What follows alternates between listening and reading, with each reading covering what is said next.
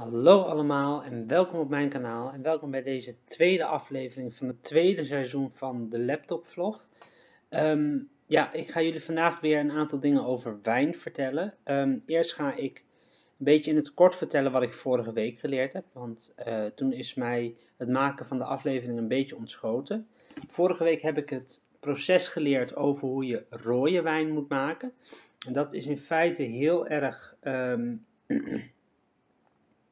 uh, kort samen te vatten, namelijk uh, bij de rode wijn, daar wordt um, uh, de schil van de druif meegeweekt. En bij um, witte wijn heb je alleen het sap waarmee gewerkt wordt. En heb je, als je die, bij rode wijn wordt de schil lang geweekt. En bij, dan heb je nog um, rosé en daarbij wordt de schil kort geweekt. Nou, Um, ik heb ook een heel klein beetje huiswerk opgekregen. Nou ja, dat was eigenlijk alleen maar een, grap van uh, onze mentor. Dat is namelijk dat we de aflevering Basje en Adriaan in Portugal moeten kijken. Uh, omdat uh, ze hebben het daar ook over wijn en over hoe wijn gemaakt wordt. Nou ja, dat ga ik waarschijnlijk deze week ergens doen. Dus dat vond ik wel heel grappig. Nou ja, um, nou, dan hebben we het over witte wijn gehad. We hebben het over rode wijn gehad. We hebben het over rosé gehad. Ik heb jullie in de eerste aflevering van het tweede seizoen heb ik jullie verteld welke wijntypen er zijn. En we hebben uh, dit keer over mousserende wijn gehad, oftewel bubbeltjeswijn. En een van de bekendste mousserende wijnen is toch wel de champagne. Uh, dus daar hebben we het over gehad. Uh, en er is meteen een groot verschil tussen champagne die uit de champagnestreek in Frankrijk komt en de champagne die uit um, de rest van Frankrijk komt. Bij uh, het maken van de champagne heb je, heb je het namelijk over twee verschillende methodes. Bij champagne uit de champagnestreek heb je het over de uh, champenoise methode. En bij de andere uh, champagne heb je het over de traditionaal methode. Um, het is in feite allebei hetzelfde. Maar dat komt namelijk, champagne mag niet champagne heten als het niet uit de champagnestreek komt. Een heel mooi voorbeeld daarvan die onze leraar een paar keer heeft gebruikt is toch wel het verhaal van de champagne shampoo die door Nivea een keer werd uitgebracht. Dat moest allemaal weer uit de rekken gehaald worden omdat het champagne heette. En volgens, um, ja, volgens de wet mag dat gewoon niet, omdat die naam uh, beschermd is. Nou, uh, de champagnestreek is heel makkelijk te vinden. Je hebt Parijs uh, in Frankrijk, de hoofdstad van de Eiffeltoren. Daarnaast heb je Disneyland en 20 kilometer van Disneyland af, daar ligt de Champagnestreek. Uh, even kijken. Um, even denken hoor. Nou, je hebt. Um, um, ik moet heel even kijken hoor. Buiten Champagne heet mousserende wijk Cramant. nou, daarvan weet ik heel even de context weer niet. Uh, dan hebben we het over het maken van champagne gehad. Uh, je hebt als basis heb je witte wijn. Of een basis witte wijn. Um, daarvan worden de druiven Pinot Noir, Pinot Meunier en Chardonnay gebruikt. Uh, de wijn die je als basis voor, rode, voor champagne maakt, kun je gewoon drinken. Maar het is wel iets minder lekker, volgens onze leraar. Um, een toetsvraag die wij gaan krijgen is uh, hoe komen de bubbeltjes in champagne? En dat komt namelijk, uh, onze leraar zei, je kunt het hele lange verhaal gaan uitleggen wat ik net heb verteld. Maar um, je kunt het ook kort uitleggen. Het komt namelijk door de tweede gisting op fles. Um, verder uh, heb je verschillende, heb je mengwijn. Um, je hebt de tweede fase is assemble. Dat is verschillende druiven door elkaar mengen. Dan heb je het over mengwijn. En het doel daarvan is dat je dezelfde smaak door de jaren heen krijgt. Um, um, het oogstverschil beperken door te mengen. Want je gebruikt natuurlijk druiven uit verschillende oogsten. Uh, volgens de derde stap is botteling. De assemble wordt in de fles gedaan. Daarna komt de tweede gisting. Um, de liqueur de Trajan wordt toegevoegd. Dat is een mengsel van wijn, suiker en gistcellen. Uh, dan begint de tweede gisting. Uh, vervolgens wordt het gerijpt op de li. Uh, dat is de bezinking van gistcellen. Dan heb je, vervolgens komt er een soort ja, vel van de, in de hals van de gistcel. En dat moet er natuurlijk uit. En dat wordt gedaan door de hals in een bad van min 20 graden te leggen. En daardoor bevriest het bezinksel, zoals het heet. En uh, dat wordt er dan uitgehaald, die ijzerprop. Um, even kijken hoor, nou ja, dat was het wel een beetje. Nou, dan heb je de basiswetgeving van de wijn. Dat is namelijk wat moet je op een etiket kunnen lezen. En daarvoor ga ik heel eventjes overschakelen naar mijn fotomodus. En dan zie ik jullie in een nou, ik heb hier een foto van de wijnfles die ik toevallig zelf moest onderzoeken in uh, de les van vandaag. Uh, en op een wijnfles moeten een aantal dingen te lezen zijn, volgens de wet verplicht.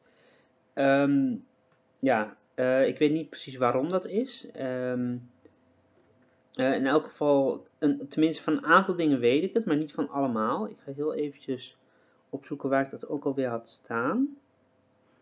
Um, eh, je hebt in elk geval drie soorten wijn. Je hebt ehm, de tafelwijn, die is eigenlijk het uh, goedkoopste. Dan heb je de uh, landwijn, daar, dat is meestal een afkorting, die moeten wij ook gaan weten. Bijvoorbeeld in Frankrijk is dat de IGP. In uh, Spanje is dat DO, DO of DOCA. En zo heb je, um, ja, zo heb je allerlei verschillende benamingen. Um, nou, uh, dan heb je als laatste de kwaliteitswijn. Dat is meestal het duurste. Um, en goed, op een, etiket moeten, op een etiket van een wijnfles moeten dus een aantal dingen te lezen zijn. Nou, uh, ik ga heel eventjes een betere foto laten zien. Deze pak ik te laat bij. Nou, dit is uh, het etiket, het vooretiket van de wijnfles die ik zelf moest um, uh, lezen, moest leren lezen, na aanvang van de dingen die wij daarover geleerd hadden. Nou, um, ik zal jullie een aantal dingen vertellen en dan mogen jullie even zelf daarna de video op pauze zetten en bedenken, is dat een verplicht ding wat op een wijnfles moet staan of is dat een niet verplicht ding? Uh, Oké, nou ja, hierboven heb je de naam van de wijn, Chateau Busin.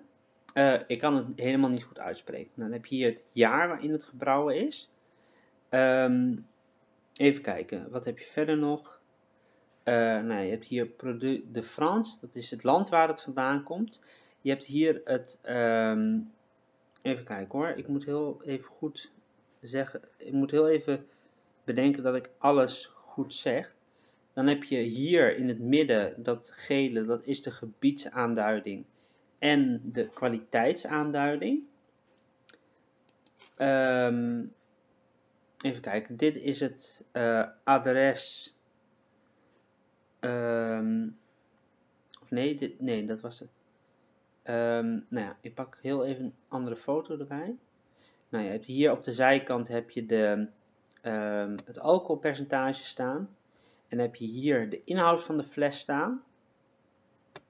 Um, en dan pak ik heel even deze erbij. Nou, je hebt hier een keurmerk, het uh, productnummer en hier, dit kleine regeltje, dat is de naam en de uh, plaats van de bottelaar. Dan heb je hier de contactgegevens verder, nou, het ingrediënten erop staan.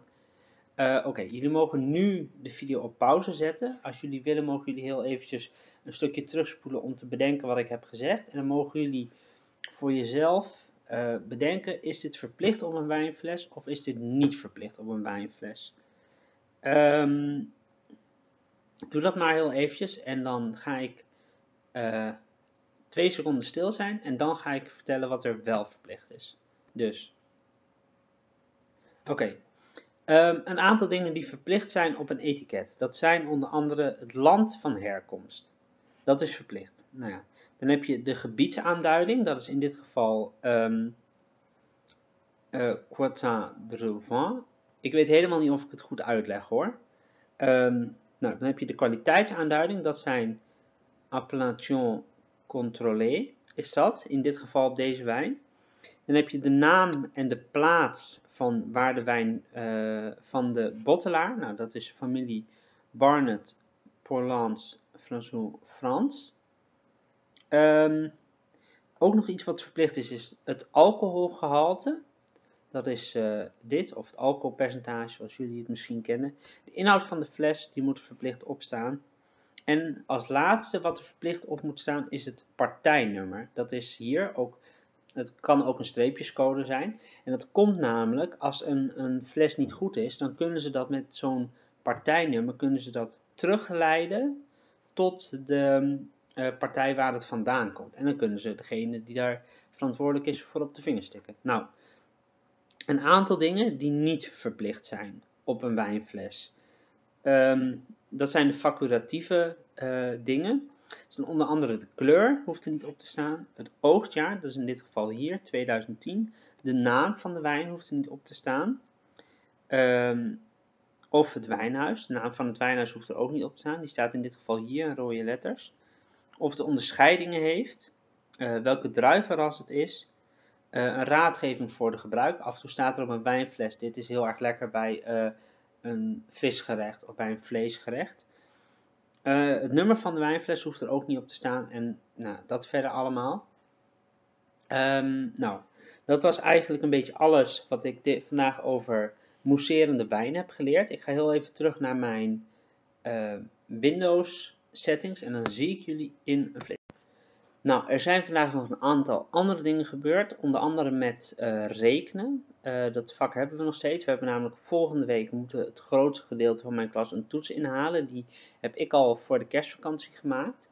Dus mijn leraar die heeft gezegd, nou je bent dat uur vrij en ik ga kijken of jij het uur daarna ook vrij kan zijn, want dan kan ik dan meteen naar huis. Uh, en de week daarna, dus 8 februari, dan hebben wij een soort toetsweek. En dan hebben wij het, um, uh, de toets over de eerste vijf hoofdstukken. En dat is optellen, aftrekken, delen, breuken en um, rekenkennis. Bij sommige onderdelen mogen we de rekenmachine gebruiken, bij andere niet. Ik denk op zich wel dat ik die toets goed ga doen. Voornamelijk omdat er breuken in zitten. En breuken is mijn favoriete onderdeel van rekenen. Um, we hebben ook met rekenen een spel gedaan. Daarbij kon je, kan iemand uh, rekenvragen opgeven. En dan kun je met een, een soort app of zo kun je, uh, elkaar uitdagen tot oké, wie kan de meeste rekenvragen doen. Dat hebben wij met de klas gedaan. Ik stond van de acht mensen die er mee deden, stond ik op de derde plaats. Uh, dat vond ik behoorlijk goed van mezelf. Um, nou, als laatste hadden wij SLB en dat was niet een normale les, want er was vandaag namelijk stagemarkt bij mij op school. Dat is namelijk, uh, bedrijven gaan natuurlijk in deze periode op zoek naar stagiaires voor aankomend schooljaar. En volgens onze leraar zitten we precies op het goede moment op deze opleiding, omdat mensen in de horeca zitten te springen om mensen die in de horeca willen werken. Uh, er zijn niet meer zo heel veel mensen die in de horeca willen werken. Dus uh, ja, ik denk dat ik daar redelijk goed uh, in ben. ik heb met een aantal bedrijven gepraat, onder andere met iemand van hotelketen Bilderberg en het Openluchtmuseum. En die kunnen mij waarschijnlijk voor volgend jaar, um, nou ja, ze kunnen in elk geval, of ze bieden in elk geval, de bedrijven bieden leerwerkplekken aan. Uh, ik ga proberen om dat, uh, om dat bij een van die twee bedrijven te pakken te krijgen. Um, ik ben daar zenuwachtig voor, want het zijn toch twee redelijk bekende en grote bedrijven. En uh, ja, je vraagt toch om een leerwerkplek. En dat betekent dat je meer verantwoordelijkheden krijgt. Je, je wordt um, um, beoordeeld als een echte werknemer. Je wordt op een leerwerkplek word je ook betaald. En um, ja, ik hoop echt dat ik voor volgend jaar een leerwerkplek vind en dat ik gewoon uh, dan ook een hele leuke tijd kan hebben. Ja, ik heb daar uh, zeker zin in. En als ik dan bedenk dat wij volgend jaar uh, echt proeverijen gaan doen met, met VTR, ja, dan ben ik daar zeker wel zenuwachtig voor. Um, dat was het eigenlijk een beetje. Dat was alles wat er vandaag en nou, ook een klein beetje vorige week gebeurd is.